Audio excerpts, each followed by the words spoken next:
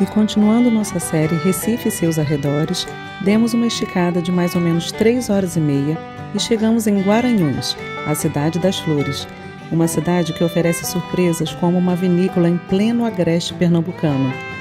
A 230 quilômetros de Recife e a quase mil metros acima do nível do mar, a cidade apresenta um clima incrivelmente favorável à vinicultura. Além de curtir um friozinho bucólico, você pode fugir um pouco da agitação e relaxar tomando um bom vinho.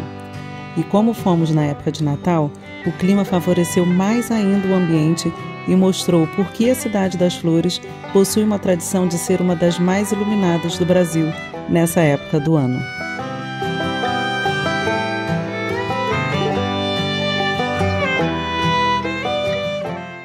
Fala pessoal, sejam bem-vindos ao Viagens em Casal. Eu sou a Patrícia. E eu sou o Marcelo. E hoje nós estamos na cidade de Guaranhuns, aqui em Pernambuco.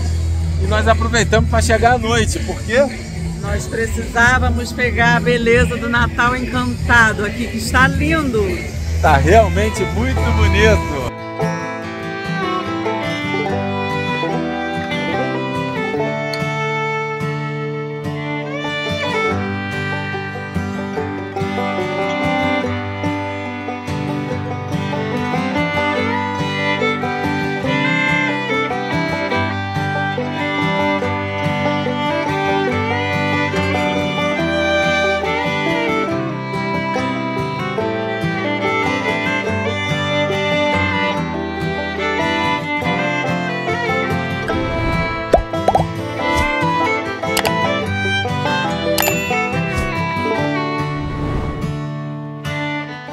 A gente não podia vir em Pernambuco, curtir Recife e não conhecer aqui o famoso Natal de Garanhuns, né, cara? É uma cidade que fica no agreste de Recife, só que ela fica quase 800 metros de altitude acima do nível do mar. Então ela fica. A gente saiu de Recife estava 30 e poucos graus à noite. Chegamos aqui já está 20 graus, por aí 21 ah, graus. Quer dizer, é outro clima, outra temperatura. E aí você pode se dar o luxo de fazer uma festa dessa assim, ó. Olha que legal, olha que bonito lá atrás. Tá lindo! Realmente um espetáculo, galera.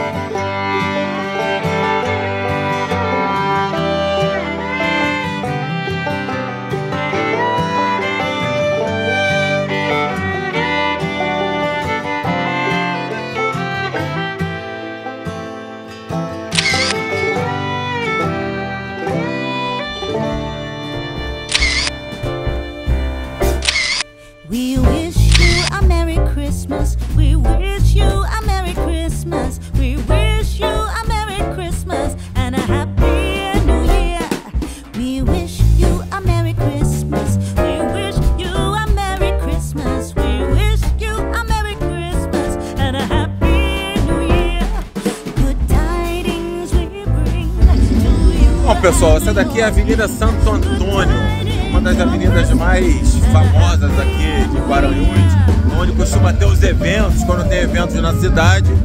E esse prédio ali atrás, Palácio Celso Galvão, é o prédio da prefeitura aqui da cidade. Tá, tá lindo, realmente tá bem enfeitado, tá bem bonito.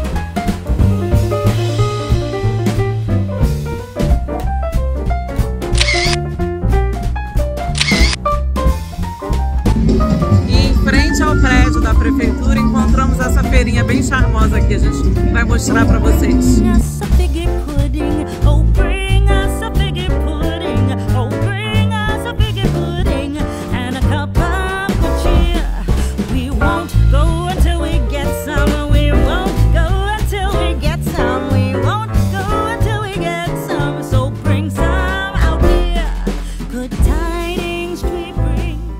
Foi um passeio de somente dois dias, então no dia seguinte saímos cedo para ir à vinícola. Mas antes demos uma paradinha rápida em mais uma praça da cidade. É claro, também toda enfeitada para o Natal. Nós chegamos aqui na praça que tem o relógio das flores e que está toda enfeitada com o tema natalino Floresta Encantada. Para variar, né? Que todas as praças por aqui estão assim, né? Enfeitadíssimas. won't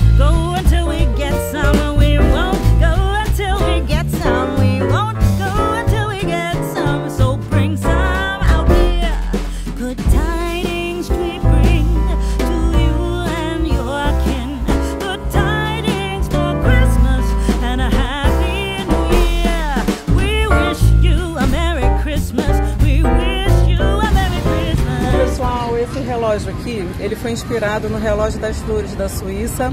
É uma sugestão que um amigo deu para o ex-prefeito aqui da cidade, o ex-prefeito Ivo, e ele achou ótimo e colocou nesse ponto aqui, que é um ponto bem estratégico aqui da cidade de Garanhuns, nessa praça central aqui da cidade.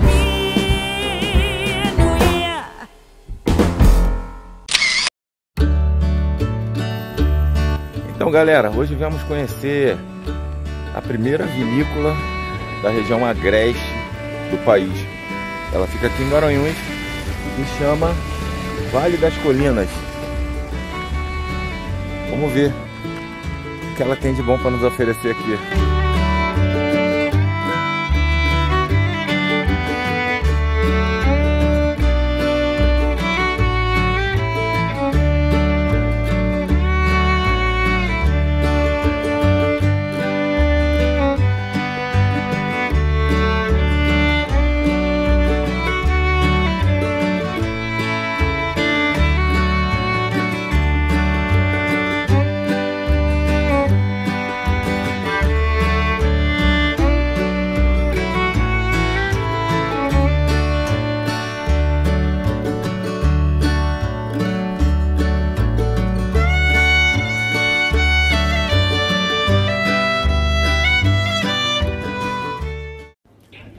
Bom, a primeira impressão é muito boa. A vinícola é muito bonita.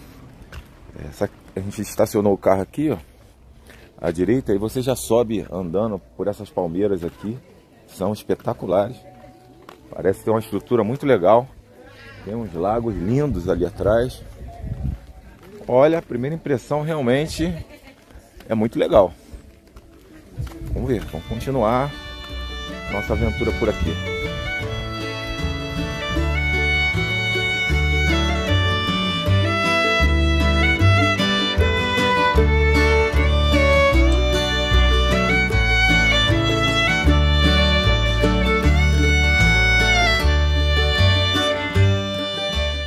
A vinícola, além de ser um refúgio para os amantes da natureza, possui também um ambiente bucólico e um clima extremamente agradável. Fizemos a visita guiada, que se inicia no Parreiral, onde contemplamos uma jornada fascinante pela história da vinicultura, desde a colheita das uvas até a delicada arte da vinificação, envase, rotulagem e do envelhecimento, com explicações sobre o processo de produção e peculiaridades das videiras. Uma verdadeira aula para os amantes do vinho uma experiência memorável no coração do agreste pernambucano. Chegou-se à conclusão que três variedades se adaptaram bem aqui. Né? A Cabernet uma delas, ela está plantada aqui embaixo, nessa área de baixo. É uma uva francesa da, região de Bordeaux, né? muito plantada no Chile. A Malbec também está plantada lá no meio do vinhedo. Também é uma uva francesa, só que é de uma região chamada Caó, na França. Mas é muito plantada na Argentina, né? lá em Mendonça. E a música Petit é a nossa uva branca, está plantada na parte mais alta, tá? Então nós plantamos aqui no dia 13 de agosto, 17 de agosto de 2018. Nós plantamos essas videiras aqui, elas vieram enxertadas de uma videira americana, por conta de uma praga chamada filoxera, né? Para quem não conhece, é uma, um besourinho que vem embaixo da terra, come a raiz todinha da planta. No século XIX, é, acabou praticamente todos os vinhedos do mundo, né? E aí, é, a videira americana, por ser resistente a essa praga, vem com o porta-enxerto, o porta-enxerto é a videira americana, que é a Vitla brusca, e em cima é europeia, tá? Então nós plantamos e a primeira safra foi em 2020. Então, nós escolhemos as uvas de 2020 a primeira e a segunda safra não foram vinificadas aqui, elas foram levadas lá para o Vale São Francisco, vinificadas lá e, já, e as garrafas vieram prontas para a gente já, né? Já a terceira safra não, já foi feita aqui, né?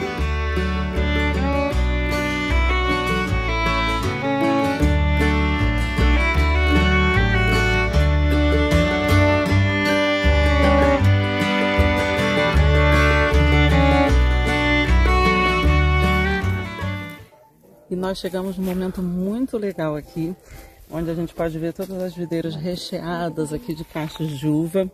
E aqui a gente está é, na parte das uvas que é, produzem o Cabernet Sauvignon.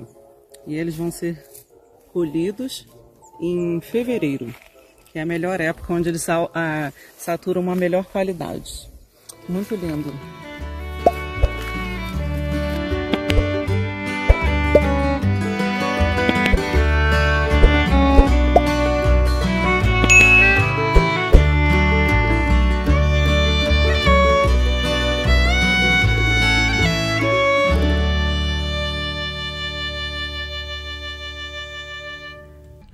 Após a visita ao parreiral, conhecemos os barris de armazenamento de aço inox, que permitem uma oxigenação mais precisa do vinho, e em seguida o laboratório de enologia, onde são realizadas análises das uvas, mostos, vinhos, destilados e outros derivados. Um, barril desse só se usa três vezes. O terceiro uso já não se usa mais para vinho, tá? Então, é um barril caro, né? No Brasil, né? É caro, um barril desse custa 3 mil dólares, um barril, tá? E só se usa três vezes. Então não tem como, é, no nosso país, um vinho ser barato. Não tem como. Por quê? Um vinho principalmente faz o barril de carvalho, né? Porque o barril é caríssimo, a carga de imposto da vinho é exorbitante do vinho, tá? E o vinho não é bebida, né? O vinho é alimento. Então, só no Brasil o vinho não é bebida.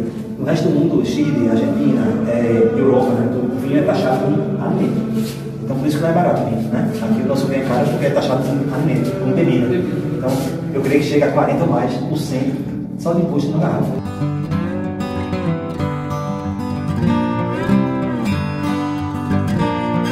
E em seguida, a melhor parte da visita, o momento da degustação, que aliás foi mais uma aula à parte para os apreciadores de vinho.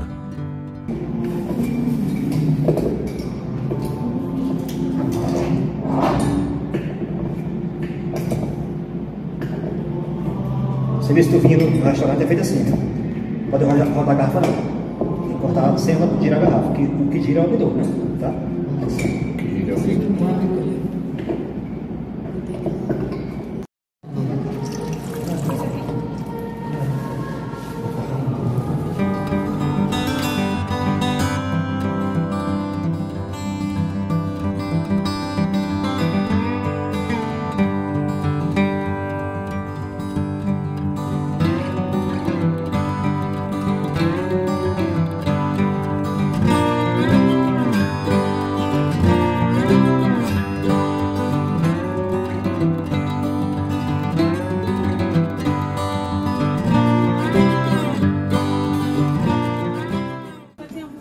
Terminando aqui a nossa visitação e estamos curtindo aqui um piqueniquezinho agora com suco de uva para passar a bebedeira lá das provas de vinho, né? Que a gente ainda vai dirigir um pouquinho. Aí com essa vista espetacular, maravilhosa. E aí, vou passar a dica para vocês aí que tem vontade de vir visitar aqui, deixar o meu genro e guia Caleb ali falar pra gente. É, alguns valores, curiosidades aqui, a gente está em Garanhuns, 900 metros, né, já deve ter falado. E muito bom passeio, vamos aos valores. A gente não pegou nenhum vinho hoje, a gente ficou no suco de uva da região, foi pra cá. Foi explicado pelo guia é, a diferença das uvas também pra gente, tal. Essa uva é específica para fazer é, o suco de uva. E aí a garrafa de um litro e meio foi 25 reais. E a gente pegou um mix de queijos ali também. É, queijo parmesão defumado e queijo parmesão comum. Foi 25... O valor de entrada, né? 25 reais também. E sobre os valores daqui de dentro, é, foi a gente pagou 60 reais cada pessoa. Que aí foi a visita guiada de 1 hora e 15, 1 hora e meia aproximadamente. E aí ganhamos uma taça de acrílico no final da, da, do passeio. Teve uma degustação também de três vinhos daqui produzidos aqui. E também, se você quiser só visitar o espaço, fazer um piquenique, que nem aquele pessoal tá fazendo ali, ó. O pessoal tá ali, eles emprestam a, o tapetinho para você quadriculado para você fazer, a cestinha também, e é 25 reais. O, eles falam que o preço é 50 reais, porém, só hoje tá pagando 25, só que se só hoje tá durando um ano. E aí, 25 reais, e só que a única diferença é que você tem que consumir tudo da loja, que é esse queijo, esse suco de uva e tal, eles entregam também um gelinho para vocês.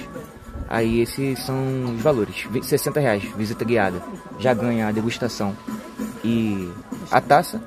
E se não for só para você usar, usar, o espaço, o pedalinho, tem ali também, é 25 reais. É isso.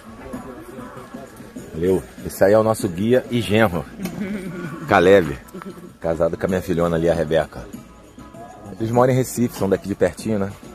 Então eles já têm a manha. Valeu? É isso aí, viagem de casal conhecendo a primeira vinícola da região agreste do país. Vale das Colinas.